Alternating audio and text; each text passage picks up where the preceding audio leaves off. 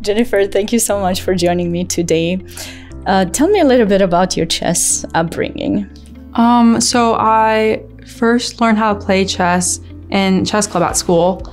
Um, my parents told me I should go, so I went, and I liked it at first just because if you won, they would give you little keychains, little chess keychains. So I I really liked that, and then eventually I started competing. Um, so I don't think I had a very like strictly like oh we should play chess like ever, like ever since I was young. I just kind of did all sorts of different things and chess was one of them. And eventually I just kind of got a little better at chess. So it was like oh if you get better you have to put more time into it. So that's just kind of what happened with me. And then um, I so I kind of feel like I just grew up playing this game. Did you spend a lot of time as a kid uh, studying from books, or were you already at the time where things were available online, so you spend more time training online? When I first started, I would just do tactic books, like puzzle books. Honestly, the main way I trained my whole life was just puzzles. Like I, that was the main thing I like to do. So I, whether or not I should have focused on other things, I just really liked it. So um, eventually, it was like when I was growing up, there was like tactics training was really popular in chess.com. So I would just do so much tactics training every single day. But that was how I kind of worked on the game for a very long time. Very nice.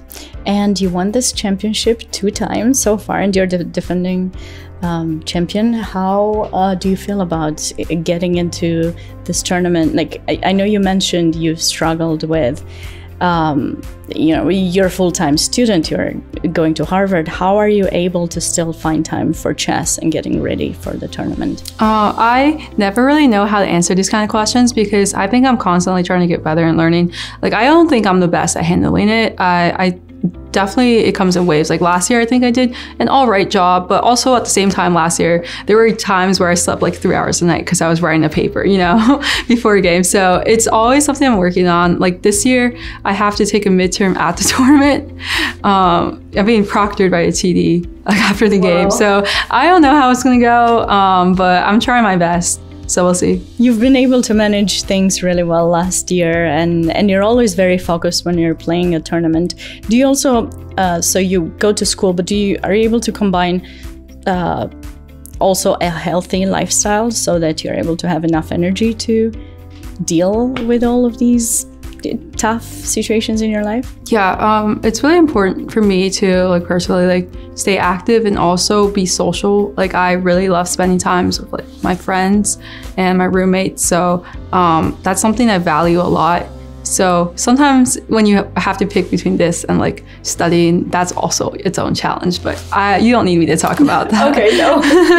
but what about um, in school? Besides school, are you involved in any projects, like any clubs um, at school? Anything else that you're doing besides studying and chess? Yeah, so I was part of a lot of different um, like extracurricular like pre-professional organizations and a lot of different other clubs on campus over the last couple of semesters. And um, so something I'm doing a little bit different this semester is I'm putting a lot of it on the back burner and mainly just focusing on school and like try to do some chess just because I felt like I was being stretched very thin. But you know, I learned a lot of different things from my experiences in those organizations. So that's just that's the that's for like the future for whatever career I end up doing. Are you still deciding on which career you might be going um, after graduating? Um, yeah, I, yeah, it's it's still in the process for recruitment and a lot of different other things. But yeah, like I, I think I changed my mind quite a few times over the last few years. So,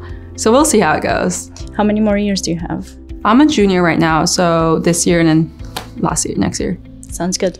Well, I hope you've been able to balance everything well and you're going to do well during this tournament. I'm looking forward to seeing your games. Thank you so much, Jennifer, and good luck.